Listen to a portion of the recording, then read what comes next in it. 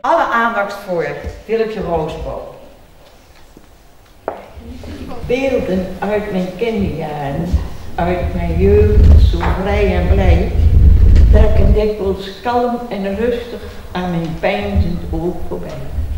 Ik denk nog dikwijls aan die jaren, vol geluk en stille vrede.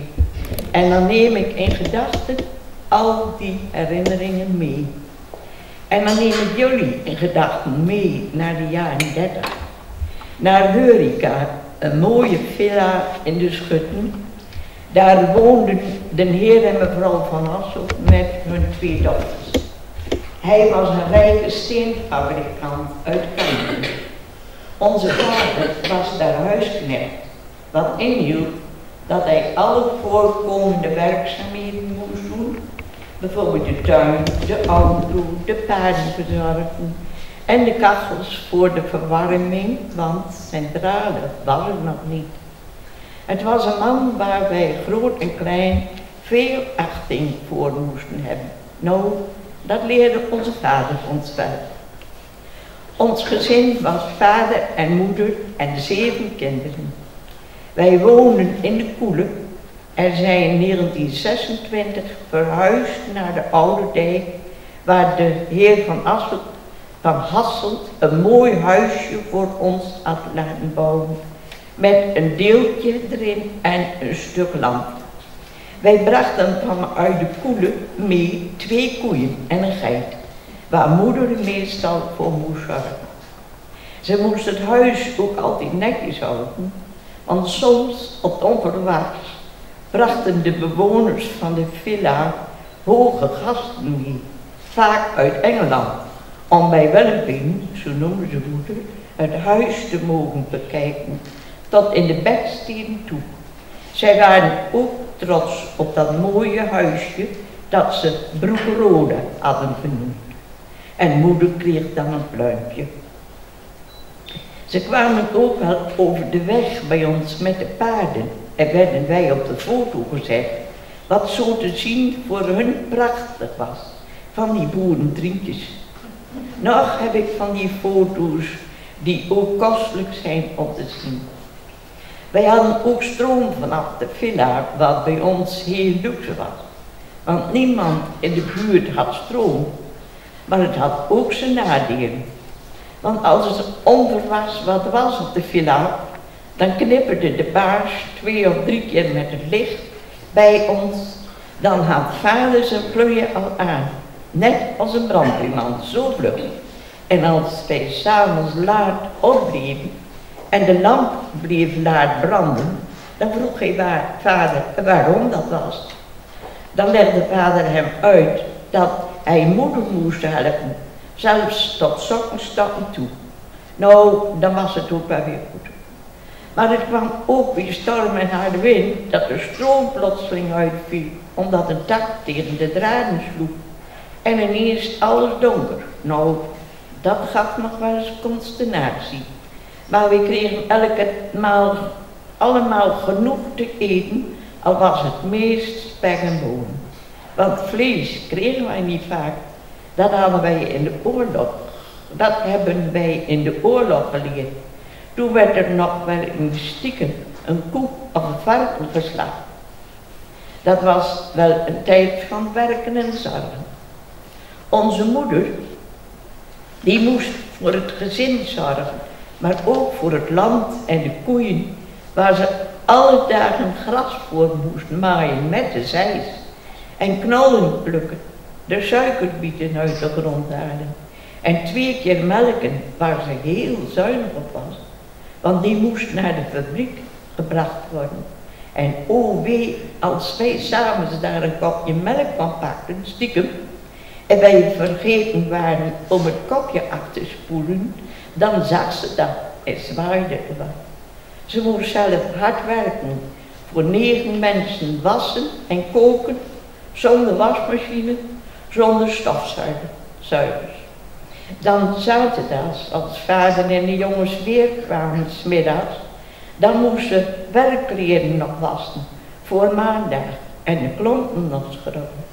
En als boodschappen gedaan moest worden, dan moest ze eerst haar busje natellen of er nog genoeg is was. Zo niet, dan moesten de boodschappen minder worden.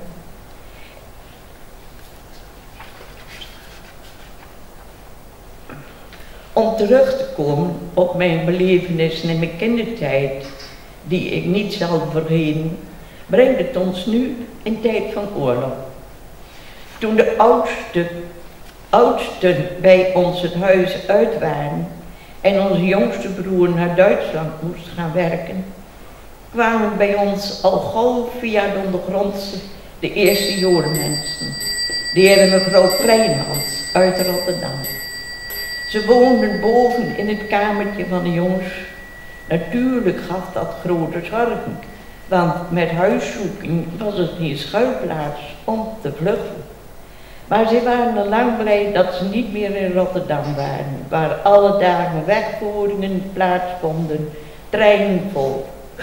Het ging goed en het waren rustige mensen en we hadden genoeg te eten. Enige maanden later kwam de Duitse Jood Gerhard zijn intrede doen. Ook via de ondergrondse. Maar die moesten doen met een hol onder de grond in de kippenhal. Waar net een klein tweepersoons ledekant in paste. Met een luik waar de konijnenhok bovenop was gemaakt. Het was heel vernuftig in elkaar. En vader bracht hem elke avond naar zijn hol om te zien of alles klopte. Als de spanning hoog opliep met dreiging van razzia's of overvalwagens, waar wij altijd voor werden gewaarschuwd, ondanks de mis aan telefoon, dan kwam er ook nog wel eens een kennis van hem, die wel in Oldenbroek onderdak had, maar niet zo'n schuilhok, net als ons echtpaar, dat ook te gevaarlijk werd.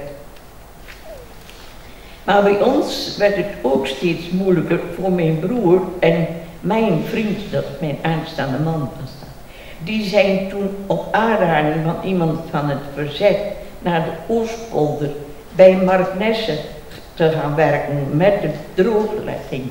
Dat ging goed. Eén keer met de 14 dagen kwamen ze thuis tot 44, tot 1944, tot ze gewaarschuwd werden door het verzet dat er een razzia in de polder zou worden gehouden. Ze zijn net op tijd thuisgekomen. Er zijn toen heel veel mannen jongens gepakt en naar werkkampen gebracht. Toen moesten de jongens ook onderduiken. En weer een hol, nu niet onder de grond, maar boven de grond. Midden in de Hoeiberg werd een hol afgestoken. En van onderaf ging men naar boven.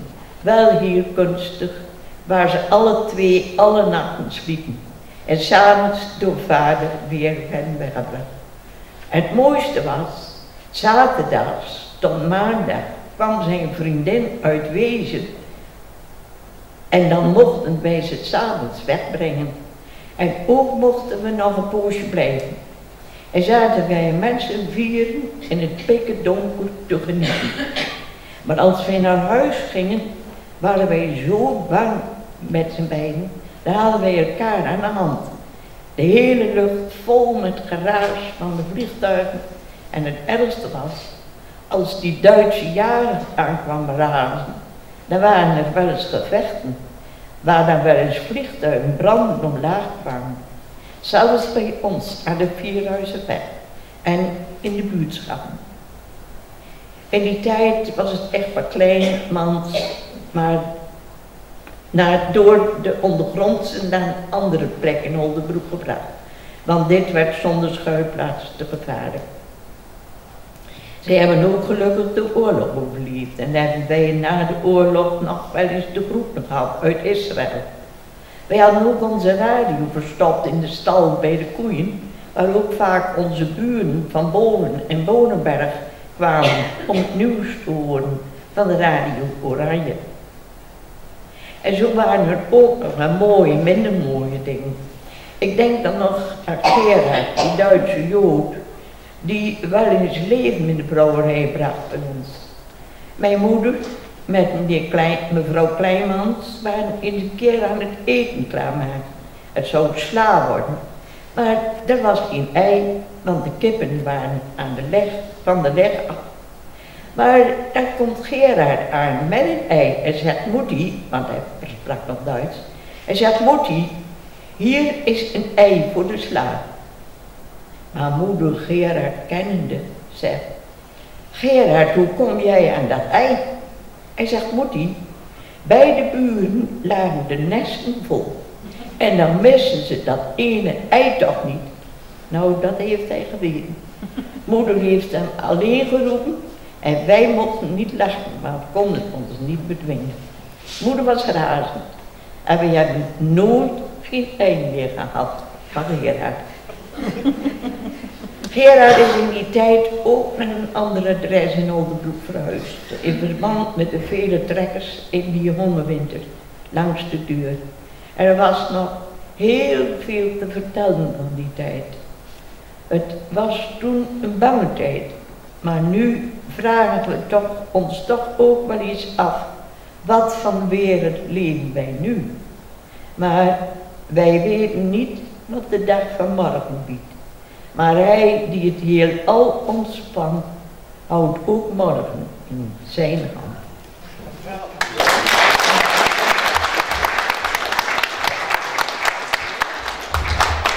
Willem, echt geweldig. Heel erg mooi. Dankjewel voor dit mooie.